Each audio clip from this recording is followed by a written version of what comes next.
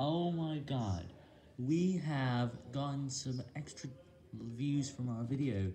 and in this case, we got more than 400 views in less than 2 hours after making the video, because of our promotion, and it continued for a long.